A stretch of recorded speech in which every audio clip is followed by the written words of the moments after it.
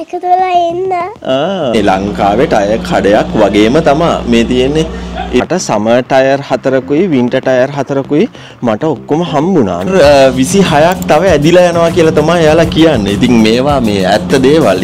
ඉතින් මට මේක ගාන ෂේප් සමර් ටයර් එක වාහනේ වින්ටර් ටයර් එක ෂෙලර් එකට දාන්න බේස්මන්ට් එකට දාන්න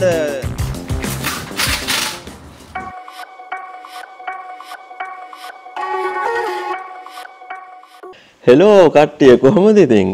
තම්නේල් එක දකින්න ඇති. අද මමයි පොඩ්ඩි යනවා. මේ අපේ වින්ට එක දැන් ඉවරයිනේ. ඉතින් අර ස්ටඩ් දාපු ටයර්ස් තමා තිබුණේ. මං ටයර් පෙන්වන්නම් එළියට ගිහිල්ලා. අපි යනවා මේ සමයකේ ටයර්ස් මාරු කරන්න. ඉතින් මේ අපි ඉන්නේ දැන් අපේ ෂෙලර් එකේ.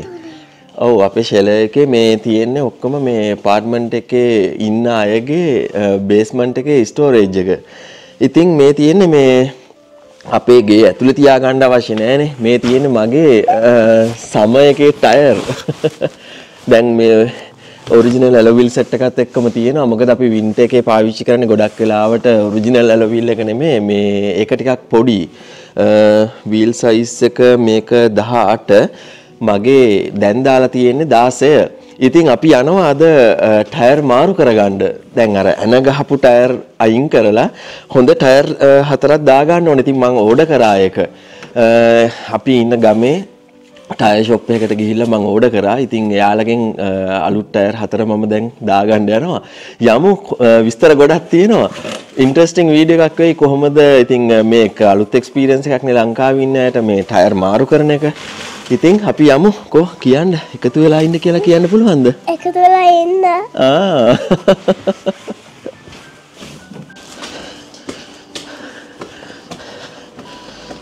එකේ ඉඳලා මෙතනින් එළියට එන්න පුළුවන් අපේ මාර බරයි ටයර්ස්.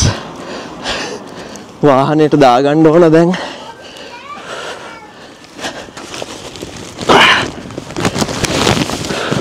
කිලෝ කීයක් බරයිද කියලා තේරෙන්නේ නැහැ. හරි ටයර් හතරම දාගත්තා. දැන් ඉතින් යන්න තමා තියෙන්නේ. මම මේ යන්න කලින් පොඩි දෙයක් කියන්න ඕන. මොකද මේ මම යන්නේ උස්බෙකිස්තාන් ඉඳන් ආපු කෙනෙක් කරන ටයර් ෂොප් එකකට. මට මාර කතාවක් කිව්වා. මොකද මේ මම ඔයාලට ඒක පෙන්නලම අපි කතා කරමුකෝ. මොකද දන්නවද මම දැන් මෙහෙ මට සමර් ටයර් හතරකුයි වින්ටර් ටයර් හතරකුයි මට ඔක්කොම හම්බුණා මේ වාහනය ගන්නකොට. මේක මම ළඟදින ගත්තේ. එතකොට මට හම්බෙච්ච සමර් ටයර් හතරේ ඇත්තනම මේ ඇලෝවීල් සෙට් එකට ටයර් සෙට් කරලාම තියෙන්නේ. මේ බලන්නකෝ ඒකේ කට්ට කට්ට රටාවක් ඕව මේවා ඉතින් ඩෙප්ත් එක ටිකක් තියෙනවා. මේක ස්වීඩන් වල එලවන්න බෑ. උස්බකිස්තාන් මනුස්සයා මට කියනවා මේක ඕකේලු ශ්‍රී ලංකාවල එලවන්ඩ එයා හැබැයි කිව උස්පකිස්ථානවල එලවන්ඩත් ඕකේ. ආසියාව රටවල්ලට ඇත්තටම මේ කට්ට රටාව ප්‍රශ්නයක් නෑ. හැබැයි මෙහි මිලිමීටර් එකයි දශම හයට වඩා කට්ට අඩුයි නං. ඒක පාරේ එලවන්න බෑ ඒක නීති විරෝධී ලොකු දඩයක් හම්බෙනවා. ඉතින් මං ඒ මනුස්සර මේ හින්ට එකක් කරනවා නෙමේ. ඉතින් ඒක ගැනත් ඔයාලා පොඩ්ඩක් අවධානය යොමු කරන්න. මේක ලිස්සන්න බලන ප්‍රමාණය වැඩි. ඉතින් මට ටයර් හතරක් තිබිලත් මං දැන් අලුත් හතරක් ඕඩර් කරා. එකයි දශම හය මිලිමීටර් මෙහි අඩුම ටයර් තියෙන්න පුළුවන් ඒක ඩෙප්ත එක ඒක වින්ට එකේ තව වෙනස් වෙනවා ඉතින් ටයර් ගැනත් මන් ඩිස්ක්‍රපෂන් එකේ පොඩි දෙයක් දාන්නම් මෙහි තියෙන තියරියේ නීති ඒවා. ඉතින් යමු මම දැන් මේ හතර අරන් ටයර් ෂොප් එකට යන්න ඕන. එකතු වෙලා ඉන්න මාර මහන්සි මාර බරයි හිතුවට වඩා යමු ටයර් ෂොප් එකට වැඩේ කොහොමද වෙන්නේ කියලා බලන්න. ඉතින් මම ආවා ටයර් මාරු කරන තැනට මේ පිටිපස්සේ වාහනයකුත් ඇවිල්ලා ගියා. එතන මාර සද්දේ. ඉතින් මම මේ පොඩ්ඩක් දුරට ආවේ. ඒක පිටිපස්සේ පේන්නේ පොඩියට කළු පාට වහල ඔයාලට පේනවා ඇති. ඒක තමයි ටයර් මාරු කරන එක. ඉතින් මේක ඇවිල්ලා සීසනල් ජොබ් එකක්. මාස දෙකක් විතර තමයි මේගොල්ලෝ දැන් මේ වින්ටර් ටයර් සමයවට මාරු කරන්න ඇරලා තියෙනවා. ආපහු සමර් ටයර් වින්ටර් ටයර් වලට මාරු කරන්න තව මාස දෙකක් අරිනවා. ඉතින් නොවැම්බර් මාසේ ඔක්තෝබර් නොවැම්බර් විතර මාසවල.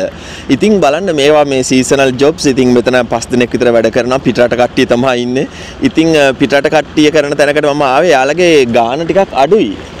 වැඩත් ඉතින් අවුලක් නෑ ඉතින් අපි ලංකාව ඉඳන් යාවේ ඉතින් ඉතින්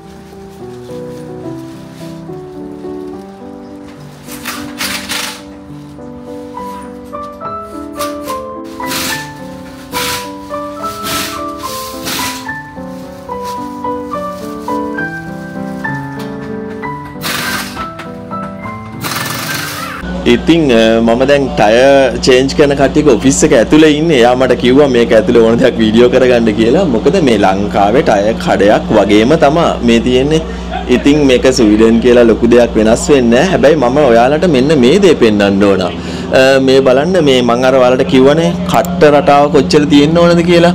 මේකේ බලන්න මේ 8 mm මේ කොළ පාට ලයින් එක තියෙන්නේ 8 mm තියෙන ටය එකක කට්ට තියෙනවා නම් මිලිමීටර 8ක් බාන්න බ්‍රේක් ගහන තැනම හිටිනවා. මේ තියෙන මේ කහයිර.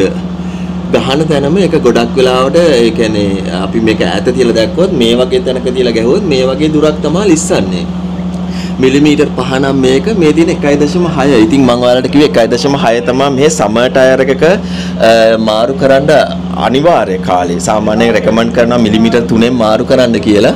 ඉතින් මේ බන ප්ලස් මීටර් 26ක් තව ඇදිලා යනවා කියලා තමයි එයාලා කියන්නේ. ඉතින් මේවා මේ ඇත්ත දේවල්. ඉතින් මට ඒක පෙන්වන්න ඕනේ. ඉතින් මේ ඇලෝවිල් සෙට් තියෙන ඉතින් මේක ලංකාවේ ටයර් කඩයක් වගේමයි. තව එකක් තමයි වින්ටර් ටයර් එකක් අපි මාරු කරන්න ඕන මිලිමීටර් 3ක් තමයි අවමේ තියෙන්නේ. ඉතින් මිලිමීටර් 3ක් අවමේ වින්ටර් ටයර් මිලිමීටර් 1.6ක් සමර් ටයර්. ඉතින් දැන් ඔන්න මගේ වැඩේ හරි. යමු වාහනේ ගාවට තව දේවල් ටිකක් තියෙනවා කියන්න. ඉතින් හරි දැන් වැඩේ යමු. ඉතින් ඔන්න දැන් සමර් ටයර් එක වාහනේ වින්ටර් ටයර් එක ෂෙලර් එකට දාන්න බේස්මන්ට් එකට දාන්න ඇතුළට මම දැන් පැක් කරගත්තා. ඉතින් ලස්සනට පිළිවෙලට ඔක්කොම පැක් කරලා දුන්නා. මඩ පොඩ්ඩක් වෙදලා තියෙනවා. ඉතින් අද පොඩ්ඩක් වතුර ගතිය තියෙනවා වැහැලා.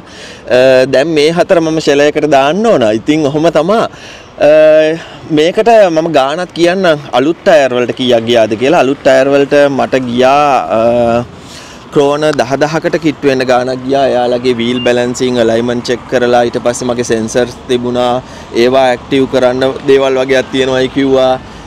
ඊට පස්සේ තව තව ඔය වගේ දේවලුයි ටයර් හතරේ ගානයි. ඒ ඔක්කොටම හැන් හුක් කියන එක මම දැම්මේ. ඒක ටිකක් මට මේ වෙලාවට හොඳයි. ඒ කියන්නේ යුරෝප් හදන එකකට වඩා මේක මට හොඳයි කියලා තේරුනේ. මොකද මම ගොඩාක් දුරවල් යන්නේ ඉතින් ඒකයි බජට් එකයි එක්කලා බලපුවාම. තව ක්‍රෝන 2000ක් විතර වගේ තමයි මේකට අමතරව යන්නේ මම ජර්මන් දෙකක් දානවා නම් මිචලින් හරි තව මෙහෙ තියෙන ඒවා. ඉතින් මට මේක ගාන ෂේප් ඉතින් ඒකට ක්‍රෝන 10000ක් විතර කියලා කියන්නේ සාමාන්‍ය ලංකාවේ ගන්න ලක්ෂ 3ක් විතර වගේ.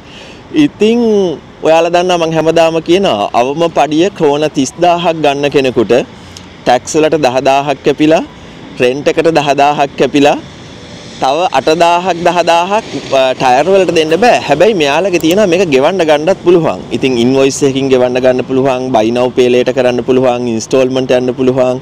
එහෙම ඔප්ෂන් තියෙනවා. ඉතින් මේක මාස දෙකකින් ඕනනම් ක්‍රෝන 5000 5000 ගෙවන්නත් පුළුවන්. ඉතින් ඔහොම තමයි මෙහෙ. දැන් බලන්න ඇති මේ තියෙන්නේ. ඔන්න සෙට් කරලා ඉවරයි. මට ඉතින් මේක ටිකක් ලොකු දෙයක්. මොකද මම පළවෙනි වතාවට තමයි මම ටයර් ගත්තේ. මොකද මගේ තිබුණේ ඕල් සීසන් ටයර්ස් ඒ කියන්නේ මට වින්ටර් එකෙත් යන්න පුළුවන් සමර් එකෙත් යන්න පුළුවන් ටයර් සෙට් එකක් කලින් වාහනේ තිබුණේ. මම මේක පොඩ්ඩක් අරගෙන බැලුවා. මොකද මං හිතනවා මේකේ ෆුවල් එෆිෂන්සි එක හොඳයි කියලා සමය එකේ අපි යනකොට. මොකද බදන ප්‍රමාණය අඩුයි ෆ්‍රික්ෂන් ටයර්ස් වලට වඩා. ඉතින් ඒ ගැනත් හිතලා තමා මේ වැඩේ කරේ ඉතින් මේක ඇත්තට මට ලොකු දෙයක් මම දන්නවා මේක ලංකාවෙත් අයට ටිකක් විශේෂයි මොකද මම ලංකාවේ ඉන්න කාලේ පැද්දේ පැන්ඩා කාර් එකක් ඉතින් පැන්ඩා කාර් එකක් පැදලා මේ වගේ එකක් ගත්තාම ඒක ඇත්තටම අපේ ජයග්‍රහණයක් වගේ දෙයක්. ඉතින් ඒක සාමාන්‍යයෙන් පිටරටවල් වල ඉන්නට නම් සාමාන්‍ය දෙයක්. ඒනවට මට ලොකු දෙයක්. ඉතින් හරි ඒ වීඩියෝ එක ඒ අත්දැකීම ඔන්න මං ඕගොල්ලොත් එක්කලා බෙදාගත්තා. ඉතින් තැංක යූ අපිය බලන්නවට සබස්ක්‍රයිබ් කරන්න ඉතින් අලුත් ලස්සන වීඩියෝ සරන් එන්න මේකත් ලයිෆ් ස්ටයිල් වීඩියෝ එකක්. ඉතින් අපේ ජීවිතවල අත්දැකීම් ලංකාවේ ඉන්න අපේම අයත් එක්කලා බෙදාගන්න කරපු දෙයක්. ස්තුතියි. ඉතින් අලුත් වීඩියෝ එකකින් ආය හම්බෙමු.